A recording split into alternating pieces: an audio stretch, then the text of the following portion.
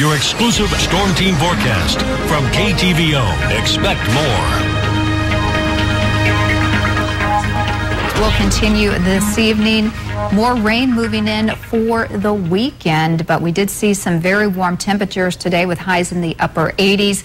This is what we started things out early this morning. Here comes those showers and thunderstorms slowly pushing in, starting to move in around 1 o'clock into especially southeast Iowa, northeast Missouri, continuing around 2.30. Uh, between 2 and 2.30, we really got some stronger thunderstorms and some heavy downpours. And now as we're heading into the early evening hours, we'll take a closer look and uh, around Kirksville area, Macon getting some heavier rainfall. All of this is moving into near Unionville or just east of Unionville into Putnam County uh, as well as Schuyler County. So again, some just some uh, stronger thunderstorms and heavy rainfall even up near Ottumwa area uh, just to the east and north of Ottumwa, some showers and thunderstorms as well. 75 degrees and, and, cloudy skies with rain at the Kirksville Regional Airport. So again, it's really cooling things down considerably. Winds are out of the west-southwest at 9 miles per hour.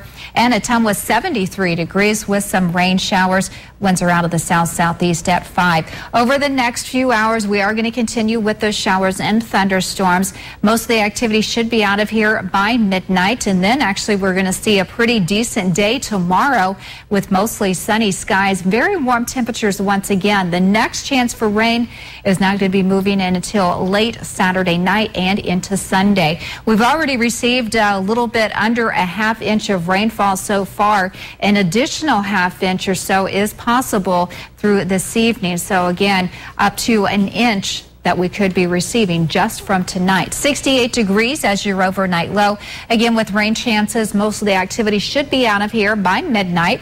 Otherwise, partly cloudy skies, southwest winds around 5 to 10 miles per hour. 70 degrees at 7 a.m. on your Friday, TGIF. 75 and partly sunny at 9. And if you're heading out, to the Wapello County Fair in Eldon. It's going to be actually a pretty decent day. Uh, when you think about uh, fairs, county fairs, you think one, it's going to be raining, or number two, it's going to be hot. Well, it's going to be very warm in the upper 80s with mostly sunny skies. So drink plenty of water and stay out of the sun if you're heading out there.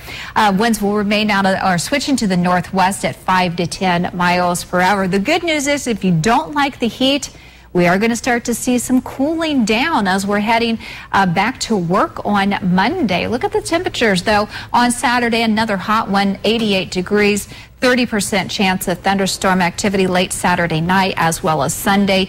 40% chance on Sunday, 86. By next Tuesday, Still with a chance of rain, though, but temperature wise, 81 degrees and overnight lows into the mid to upper 60s. Of course, anytime, check us out 24 7 at heartlandconnection.com. So, again, uh, brief downpours associated with these thunderstorms this evening.